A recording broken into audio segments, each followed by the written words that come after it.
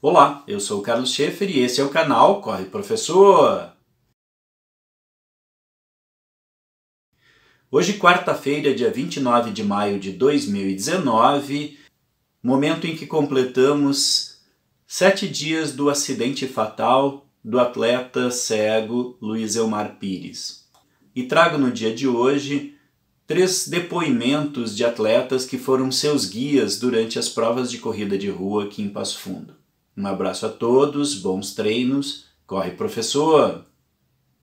Carlos, eu fui guia do seu Luiz em corridas de rua aqui de Passo Fundo, em várias provas. Eu fiquei muito surpreso com o que aconteceu com o seu Luiz, fiquei muito triste realmente, muito, muito triste. Mas eu queria dizer que eu aprendi muito com ele. Nas nossas corridas é, a gente conversava muito e fora delas também a gente conversava bastante. Uh, e uma certa vez, numa corrida, aconteceu algo bem interessante, né? Uh, a gente tava, tava perdendo, a gente até chegar segundo, terceiro, não lembro. E, e eu dizia, vamos Luiz, vamos, vamos que nós, vamos chegar em primeiro. E, e ele, não, não, vamos, vamos na manhã, vamos. Que o, quando a gente. A pessoa que a gente chegar, a gente chegou. Eu, beleza, fiquei pensando, fiquei, entendi, beleza. Hoje eu entendi o que, que é o ganhar e perder com revendo essa situação. O Luiz, durante a vida dele, eh, passou por muita coisa, passou por muita coisa e sempre se adaptou e levou a vida dele. E,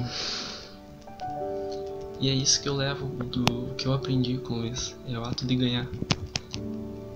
O ganhar não é aquele que chega sempre em primeiro lugar, mas é aquele que não desiste. Então eu queria deixar um, um grande abraço para a família dele e a gente se, se encontra aí pela, pelo, pela vida aí. Valeu, um abraço. Um dia muito, muito triste para quem participa com a inclusão, com o esporte de inclusão, onde, onde inevitavelmente, numa tragédia, o seu Luiz veio a nos deixar falecer. Para mim, para eu, eu que fui guia dele, comecei em um projeto de extensão aqui da Universidade de Passo Fundo. Foi uma perda muito chocante, porque até um ano atrás eu o guiava. Acabei deixando de guiá-lo porque ele sofreu os infartos e para que não corresse risco de, durante uma prova, tanto eu quanto ele, vir a ter problemas no futuro, eu decidi não correr com ele. Ele compreendeu um momento meio assim não querendo, mas compreendeu depois.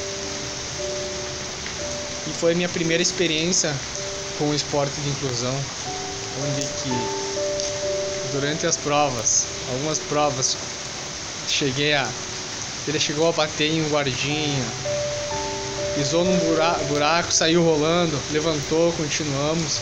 As provas eram superação, porque uma pessoa com deficiência visual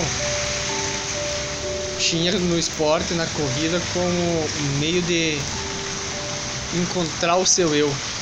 Então é.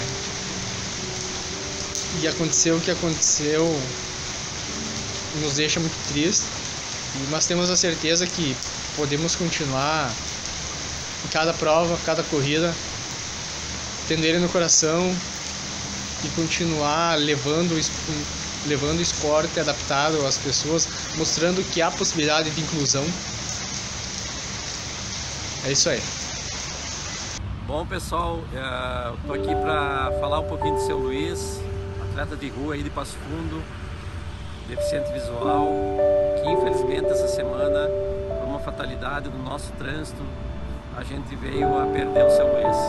A minha história com o seu Luiz começa em 2014, quando eu cheguei para fazer uma das etapas de corrida de rua de Passo Fundo e uns 10 minutos antes da largada a Virgínia veio para mim uh, e disse, olha, o pessoal que ia acompanhar o seu Luiz seguido, o seu Luiz não pôde comparecer e tu vai ter que seguir do seu Luiz nessa etapa. Uh, aquilo me pegou de surpresa porque eu jamais pensei ou tive essa, essa oportunidade que depois eu entendi que foi para mim mesmo naquele momento e nesse dia eu fui o guia do seu Luiz nessa etapa e foi muito gratificante para mim porque ele era muito esforçado Inclusive eu me lembro que em, em, vários momentos eu tive que segurar ele porque ele perdia o fôlego, né? Porque ele queria correr cada vez mais forte e a gente eu ia controlando ali o pace e estava meio fora, estava muito forte.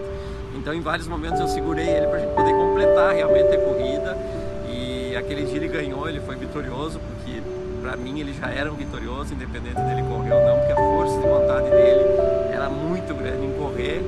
E eu me lembro que eu fiz esse teste se alguém fizer esse teste também vai ficar impressionado. Tente correr um pouquinho só com os olhos fechados para você entender o que, que era essa força de vontade do seu Luiz. E se alguém fizer esse teste também vai ficar impressionado. Tente correr pouquinho só com os olhos fechados para você entender o que, que era essa força de vontade do seu Luiz. Então deixo aqui meu, meus sentimentos e agradeço o seu Luiz eternamente por essa oportunidade que ele me deu. Obrigado.